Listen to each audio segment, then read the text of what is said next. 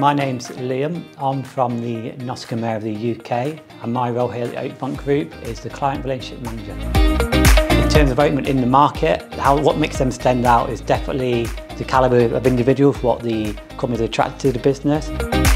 During the day, it could be doing anything in terms of looking at market trends, researching the market, looking at potential clients bring to the business, attending client meetings, it could be attending conferences, networking, so that could be, especially social media in this role, building long-lasting relationships with clients, that's the most important thing. So establishing it, maintaining it, and obviously making sure it lasts as long as possible. If I'm not working, you'll normally find me on one of the lovely beaches in Dubai, or I'll be exploring the area, so yeah.